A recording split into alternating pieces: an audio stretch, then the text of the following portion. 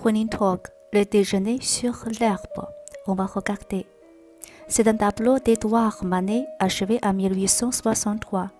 Au premier plan est représenté le contenu d'un pique-nique avec des fruits, un banc, des cerises sur un lit de feuilles et un panier de fruits. Une femme nue assise au milieu du bois, entre deux hommes habillés en costume contemporain, regarde le spectateur. Manet souhaite donner une version moderne du concert champêtre du peintre de la Renaissance Didien. Et d'après le commentaire d'Émile Zola, Le déjeuner sur l'herbe est la plus grande toile d'Edouard Manet, celle où il a réalisé le rêve que font tous les peintres, mettre des figures de grandeur nature dans un paysage. Talk, Paris.